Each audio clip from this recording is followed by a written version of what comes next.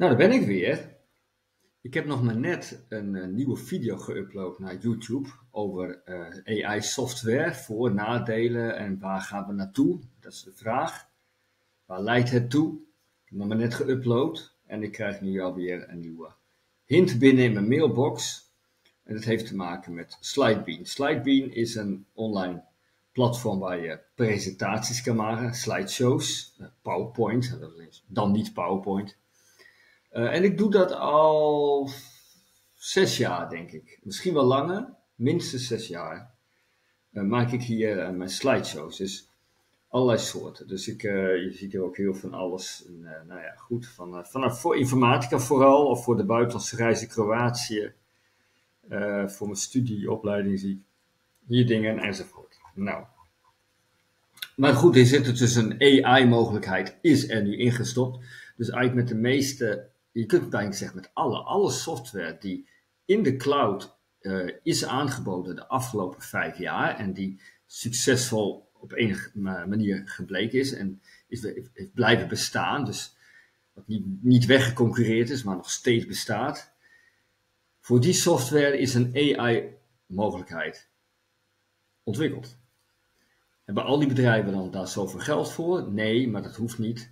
Want je kunt van bijvoorbeeld bij OpenAI kun je gebruik maken van hun API-key, hun API-platform, laat ik zo maar zeggen, via een key. En dan uh, heb je een soort abonnement en uitgaande van hoeveel je gebruikt, uh, betaal je dan. En dat is uh, dus niet veel, want uiteindelijk kun je dat weer factureren aan de gebruikers van je online clouddienst, zoals Slidebean. Dus Slidebean heeft dat ook, gebruikt het ook.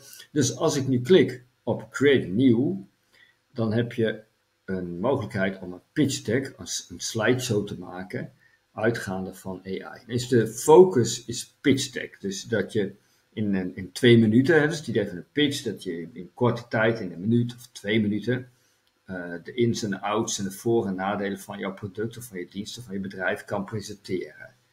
Zo van in de elevator uh, pitch is dan dat je dus terwijl je in de lift zit, kun je aan iemand jouw product uitleggen en, aan, en, en, verkopen. Een pitch. Dus daar is op gericht. Dus zal die AI ook voor ontwikkeld zijn. Dus dat, daar komen we al bij een, uh, een eigenschap van AI. AI is niet autonoom. AI is ontwikkeld door, door iemand of door een team van iemanden.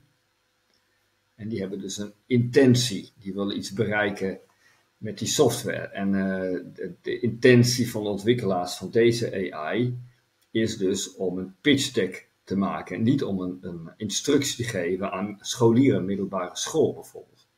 Waar ik les aan geef. Dus uh, toch ga ik dit zo inzetten. Ik, ik ga dat doen en dan vraagt de, de AI, eh, de software, vraagt om de URL. En dan gooi ik daar de URL in van mijn online leermethode. Dus codepanta.nl, daar staat de complete methode informatica die ik zelf de afgelopen zeven jaar daar heb ontwikkeld en nog steeds dagelijks aan doorontwikkelen ben.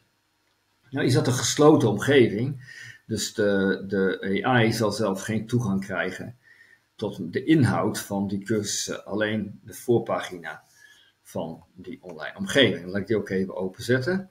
Uh, hier is de online omgeving. De online omgeving, daar staat dus tekst, dus hij gaat die tekst eruit halen.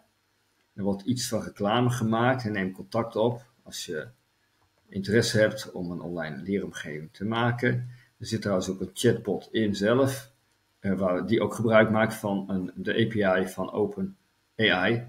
Um, nou, dan kun je dus, gaan we later een keer aandacht aan geven, klik ik weg. Nou, dus is wat, nog wat reclame, dan krijgen we mijn podcast over AI. En dan krijg je beschikbare cursussen. En die hebben in ieder geval titels. Als je daarop klikt, dan kom je er vervolgens niet in. Dus deze tekst moeten we het mee doen. Uh, maar goed, dat zijn in ieder geval alle titels van al die cursussen. Met daarbij ook de thema's. En nog wat frequent asked questions. Uh, en even kijken, bovenin stonden de hoeveelheid cursussen, zijn er 101 modules. Maar die staan allemaal niet gepubliceerd op de voorpagina. Nou, we gaan even kijken. Wat doet Slidebean met een vrij beperkte voorkant. Nou, analyseren. Daar gaat hij dan. Live, ik laat hem, uh, zet hem niet op pauze om jullie die gebruikservaring te geven. Deze systemen zijn vaak erg snel, zijn verbazend snel. Zijn, ChatGPT, dat was vooral onze verbazing over hoe snel die antwoord gaf. En nu moet hij ook nog uh, visuele content gaan maken. Dan gaat hij slides keren. Nou, daar is hij klaar. Check. Terwijl ik dus een paar zinnen heb geproduceerd, heeft hij dit geproduceerd. Nou, ik ben er al een eerste niet weg van, want ik zie dat hij geen afbeeldingen heeft geplaatst. Er staat wel netjes replace this with your image. En dat kan ik inderdaad makkelijk doen. Dus dat is wel eens een plaats om een if een image te plaatsen. Dan krijgt hij de verkeerde titel. Een logo heeft hij ook niet. Dat is niet zo moeilijk om van zijn site te halen, lijkt me. En dan staat er de webmeester. Ja, de webmeester, dat is mijn alias. Maar dan geef je mij te veel aandacht, mijn alias op het internet. Maar dat ben ik niet in CodePanta. In CodePanta ben ik docent informatica, dus to master web development. Empowering students to master web development. Waarom is het in het Engels? Wel, die site, ver ik weet, is echt alles in het Nederlands. Dus dat is weer zo'n voorbeeld van hoe discriminerend uh, AI is op dit moment wat betreft taal. Uh, problem krijg ik ook alles in het Engels. Waarom problem? Ga een problem man. Oh, oh, oh, dan gooi ik het uit. Moet niet doen. dat staat. Ik moet met het hoofd even aan de kant. Traditional learning methods for computer science waste. Computer science waste valuable resource resulting in a lack of comprehensive education secondary school students. Okay. Outdated teaching materials and lead to resource waste and ineffective learning experiences. Klopt. Limit collaboration opportunities hinder students ability to progress complex Oké, nou, dat is wel interessant. Dat is wel interessant. Het is wel om te zetten. Maar dan moet ik het dus vertalen, want ik wil het Nederlands houden. Zo is het niet een voorbeeld van hoe je een slideshow houdt. Zeker geen pitch. Uh, er is veel te tekst. Dus niemand die naar kijkt. Het is wel dat ik dit kan gebruiken om te publiceren op het internet. Eventueel. Ik kan mensen op eigen gelegenheid doorheen lopen. Niet te gebruiken als presentatie. En dan krijg je dus, dus, dus de problem. een pitch heeft natuurlijk een probleem en waarvoor dan een, een, een, oplossing is bedacht. En dat is dan van de webmeester blijkbaar. De webmeester is een online learning, maar hoe komt hij naar nou? Dat is Code Panta dus. Nou goed, learning plan for secondary school student of een comprehensive math teaching. Oké, prima. Nou, dit is dan de oplossing. Ja, dit is ook wel leuk. revolutionizes the way computer science is taught surpassing Microsoft en Google. Zo, nou dat, dat heb ik niet beweerd hoor op Kookpanter, maar dat is goed dat hij dat eruit haalt. Natuurlijk wel de bedoeling. Oké, features. Wat hij dan allemaal gaan doen. Learning code, development, leuk. Case studies, oké. Nou, wel, uh, wel aardig hoor. Ik kan er wat mee. Je moet gewoon dingen die tekst aan aanpassen en bedenken als ik dit als presentatie wil gebruiken voor een groep dan moet ik dat gewoon in keywords omzetten, die tekst. En dan kan ik gewoon weer in de AI zetten. Eerst vertalen het Nederlands en dan samenvatten in keywords. En die keywords gebruiken dan in je presentatie. En dit plaats je dan in je notities. Students engagement outcomes. Hoe komt hij erbij? Case study. local secondary incorporated into the, dit is gewoon lying bitch ook gewoon. A local secondary school incorporated de webmeesters Code Panta into their curriculum. Dat klopt wel, want het is mijn eigen school natuurlijk. Providing students with access to our comprehensive courses. Oké, okay, prima.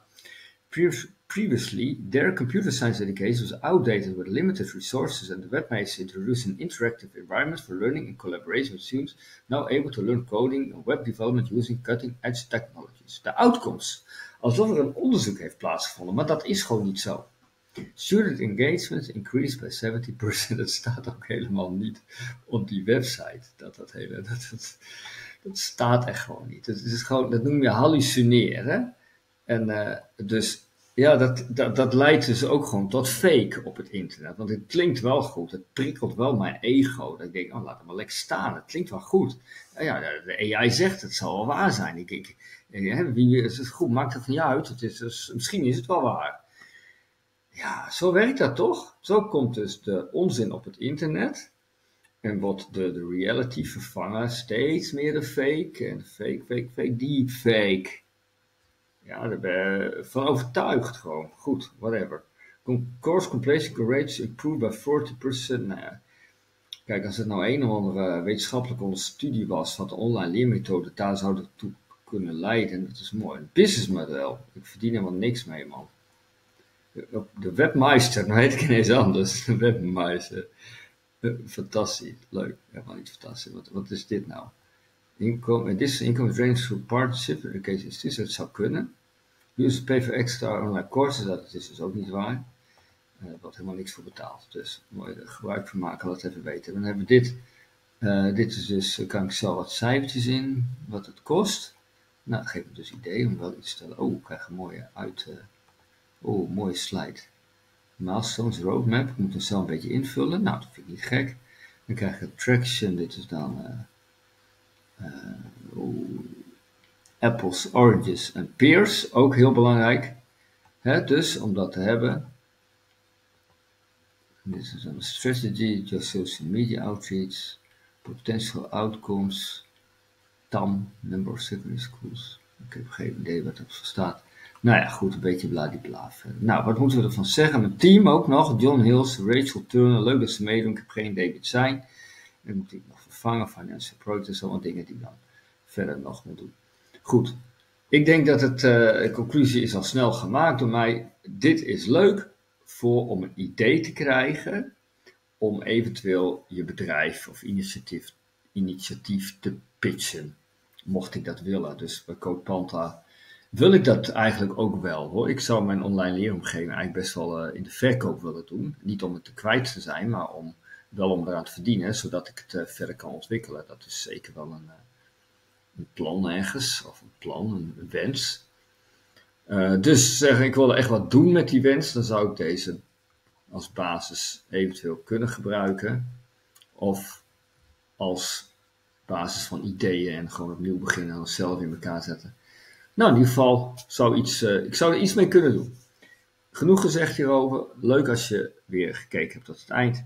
Dit was kennismaking met, met uh, hoe heet het ding? Uh, Slidebean. Ik gooi dit even de webmeister eraf. Code Panta Pitch Deck. Zo, check.